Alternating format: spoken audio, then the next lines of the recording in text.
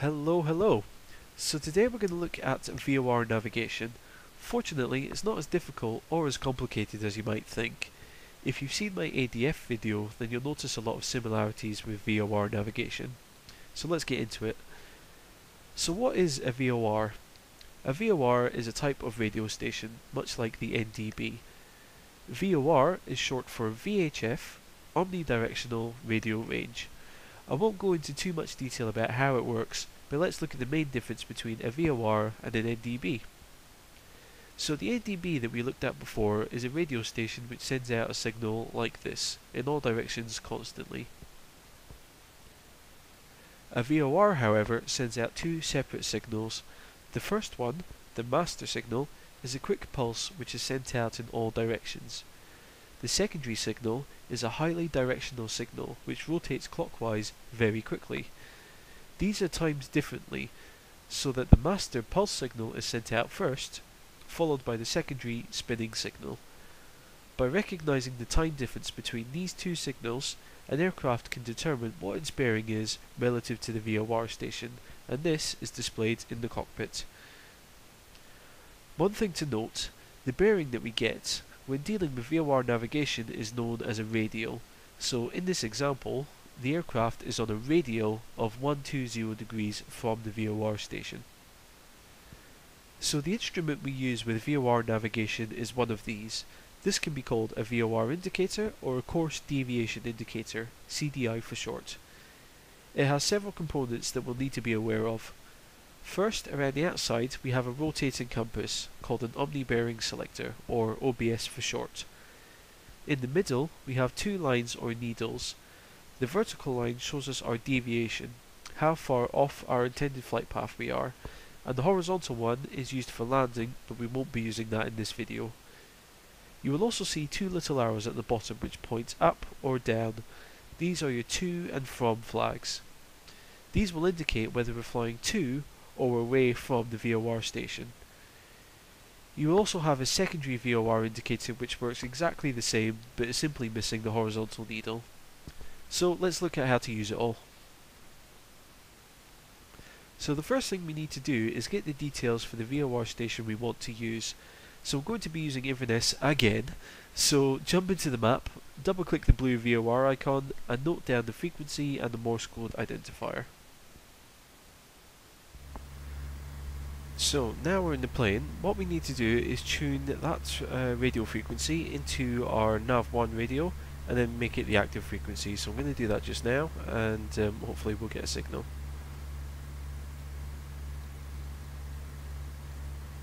So this is 109.2, let's make it active.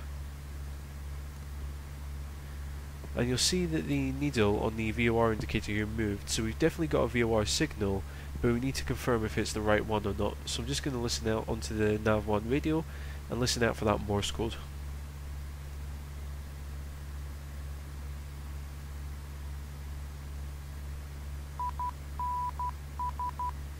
And that's definitely Inverness.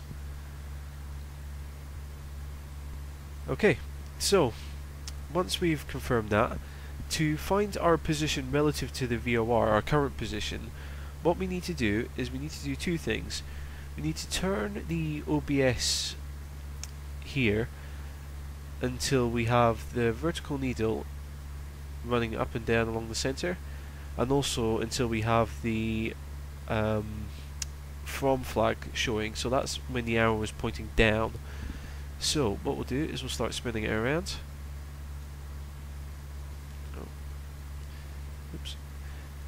Okay, so you can see we've got the needle centered there, but the wrong flag is showing. That is showing our direction to the VOR, which we don't want. We want to find out our kind of radial from the VOR. So what I'm going to do is I'm going to keep spinning it around until I find that.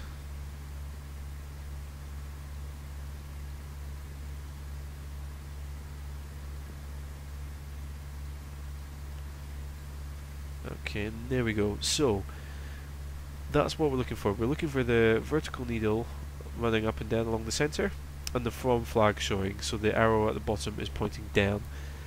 So looking at the uh, top of the OBS here that looks like the one a radial of uh, if we're going to be exact I would say 107, 108 So, to fly directly away from the VOR station, all we would simply do is turn our heading to match what we can see on the VOR there. So, turn the plane now to that heading.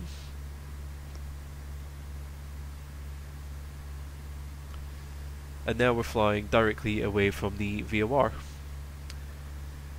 One thing to be aware of is that the radial that you fly on, um, or the the in, sorry the uh, VOR indicator here, it doesn't is not affected by the aircraft's heading. All it is doing is simply showing us our position in relation to the VOR station. If you remember back when we had a look at the ADF, every time we turned the plane, the ADF needle would swing back and forth depending on which way we turned. The VOR indicator doesn't do anything like that, and I'll show you just now. So if we do quite a dramatic turn to the right, you can see that the VOR indicator isn't moving at all because it's simply showing us our position relative to the VOR station. So turn back that way. So now we know how to fly away from a VOR station. Let's look at how we would fly to a station. Um, it's actually quite simple. All we simply do is we look for the opposites of what we've got on the VOR indicator at the moment. So what I mean by that is we need to find the reciprocal or the opposite um, direction to our radial. So if we have a look here, so let's say rough, roughly we're on um, a radial of 110. So the, what we need is we need the reciprocal of that which would be plus or minus 180 degrees or you can simply have a look at the arrow at the bottom of the indicator here and that shows that the reciprocal heading or this reciprocal direction would be 290 so what we need to do is turn the OBS around until we bring 290 to the top. And you can see that we have the needle centered again. And now if you have a look at the flag at the bottom, that's our to flag, so that is showing us the direction to the VOR station. And then all we would simply do to fly to it is just turn the plane to that heading as well.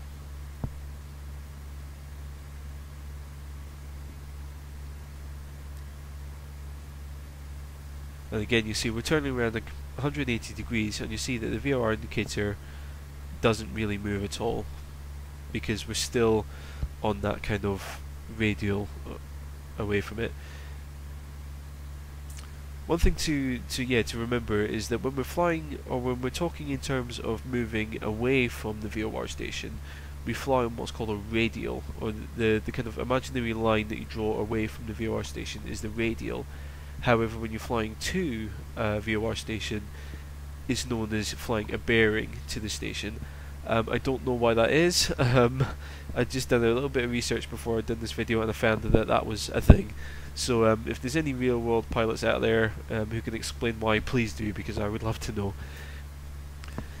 So now you can see that we're kind of flying. Let's just adjust that just for the purposes of the video. So yeah, so we're flying now um, a bearing of 290 back to the um, VOR station there one other thing that you can do if you want to get a, a more kind of exact picture of where your position is is you can actually use the DME down here.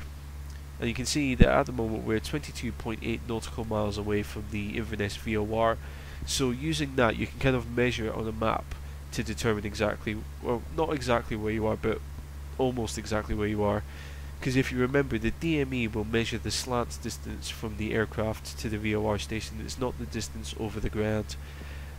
Not a massive problem because the distance over the ground won't be too much different, but it's just there's there's a difference there that you need to be aware of. So that's flying away from and or di sorry directly away from a VOR station and directly to a VOR station.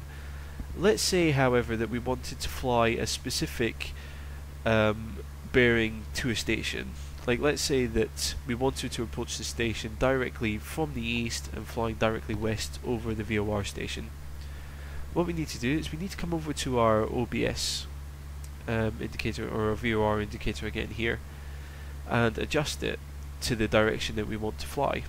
So if we want to fly directly west towards the VOR station, we simply adjust that until we have west pointing at the top there.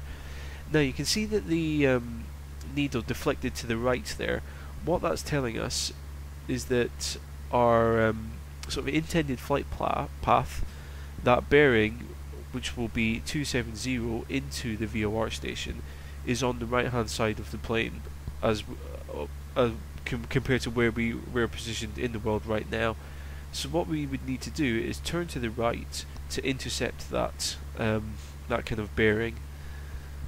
So I'll do that just now, and I'll probably need to cut the video until we get a bit closer. But what we, pardon me, what we would do is turn to the right to intercept that bearing, wait for the needle to move back towards the center, and then once it's moved back to the center, we return onto that um, bearing of 270 degrees and follow it all the way into the VOR station. So I'll probably cut the video here just to save time and you'll see what, what I mean. Okay, so it's a couple of minutes after um, where I cut the video, and you can see now that the needle is slowly moving back towards the centre, so that means that we're getting closer to that intended flight path of 270 or flying due west back towards the VOR station. And we can confirm that we're flying, or it's going to the station because it's got the to flag at the bottom there.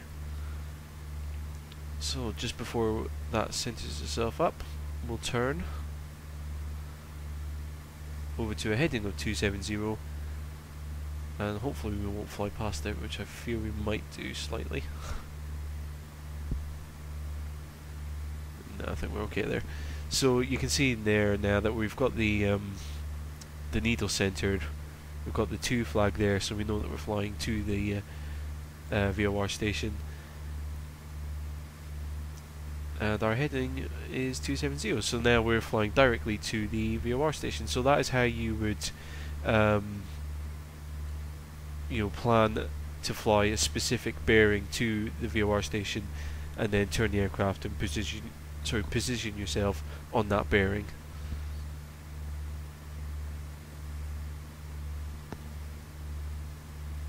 okay so just following off um, our, our kind of position from our last video uh, what I'm going to talk about quickly also is correcting for wind drift. So uh, much like what I did with the ADF video, um, I'm going to be flying directly west towards the Inverness VOR. However, I've got the wind blowing quite strongly from north to south, and you can see, and just so I can show you, sorry, how to uh, account for wind drift. So if you look at the VOR indicator at the moment, uh, we started the flight pretty much where we left off on the last clip. And um, you can see now that the um, vertical needle is moving to the right. So that means that we're getting pushed left away from that kind of intended flight path there. So what we need to do is simply as we did before with the ADF indicator is use bracketing to account for the wind drift there. So the needle is deflecting to the right. That means that our flight path is on the right so we need to turn right into the wind. So I'm going to turn 30 degrees into the right, which would be quite a sharp angle there. If you also look at the DME, we're getting a bit closer to Inverness there, so um, so the needle will be, it works like the ADF, the closer you are to the VOR station, the, the faster the needle will move because it gets a bit more sensitive, so uh, that's just one thing you need to be aware of. So we've turned 30 degrees into the wind there, and you can see that the needle is coming back to center so that means that 30 degrees is going to be enough of a wind correction angle. And this is much better than the ADF indicator because you're not worrying about if I turn 30 degrees this way and the indicator is pointing 30 degrees does that mean this or that? There's there's none of that kind of rubbish with with the VOR indicator. All you're simply doing is making your wind correction angle and then just watching to see what the um, the vertical needle does so you don't have to worry about yeah, like I said, 20 degrees this way or 15 degrees that way, or you know, is it the same direction or opposite? All you want to do is just keep the needle centered here. So we've turned 30 degrees into the wind, and the needle's coming back. So that means that we're going to re-intercept that um, sort of bearing of 270 it back into the VOR station. So, like I said before with bracketing, all you do is you simply just kind of correct left and right, try and reduce the um, the angle down until you find the kind of the ideal angle where you can fly along the um, the bearing there, and the wind will just keep pushing the plane sideways straight along that bearing there. So we're back on now. So I'm going to correct 10 degrees to the left. So our total correction angle is now 20 degrees into the wind, and we'll just see um, if that keeps us sort of on on that bearing or not.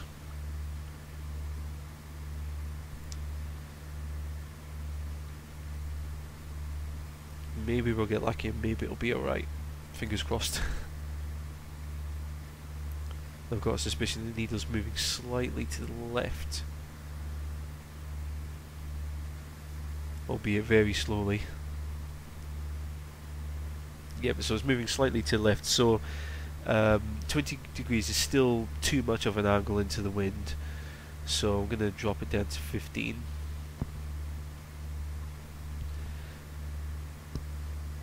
And 15 might be just about right.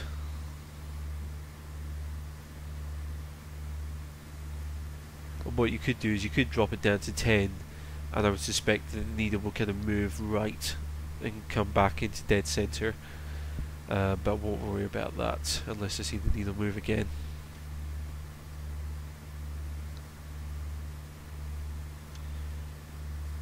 So yeah, in case I didn't mention it at the start of this clip, yeah, the, the wind is going to be blowing from our right to the left, so... Um,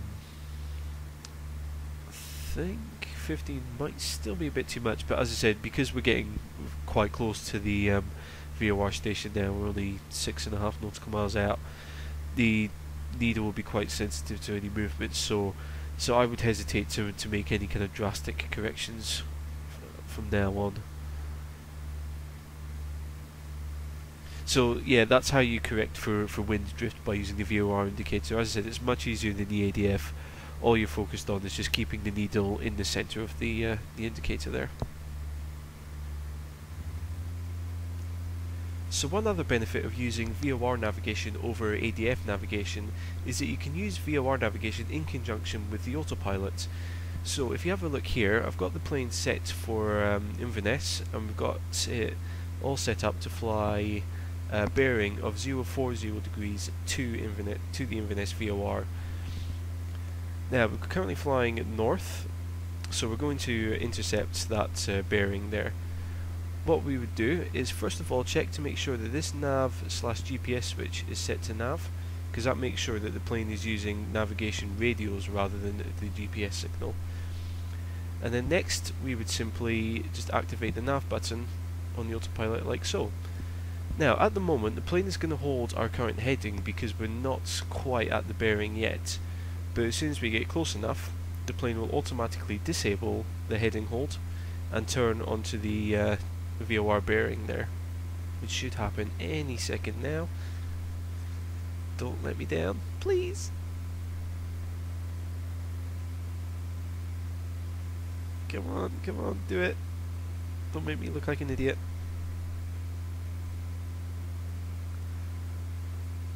There we go. So if you have a look at the autopilot now, you can see that the heading hold has been disabled automatically by the um, the autopilot, and the plane is starting to turn right onto that bearing of 040 degrees. Now the good thing is that you don't have to be set up to intercept the bearing. Um, if you choose a bearing and then hit the nav button, the plane will automatically turn to a heading where it will intercept that bearing and then obviously once it reaches the kind of intended flight path it will then turn onto that and follow that all the way into the VOR station. So that's about it for VOR navigation. In my next video we're going to use the VOR instrument again but look at how to use it for ILS approaches and landings. As always if you have any questions ask away. Many thanks for watching and I'll catch you later.